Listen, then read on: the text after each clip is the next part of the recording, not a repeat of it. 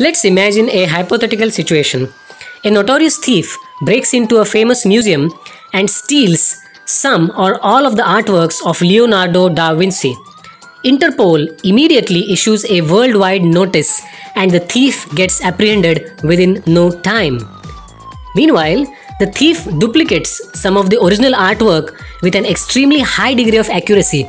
So then, after the arrest, how would Interpol be able to distinguish the real artwork from the duplicated one?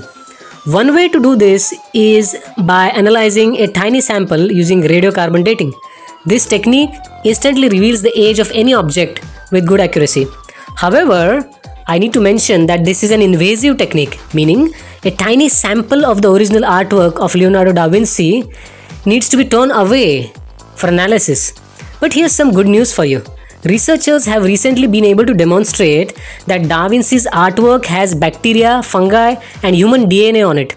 If we could fingerprint this microbiome as well as the DNA present on his artwork, then it would be easily possible to resolve between original and accurately duplicated drawings using a completely novel and non invasive analytical technique.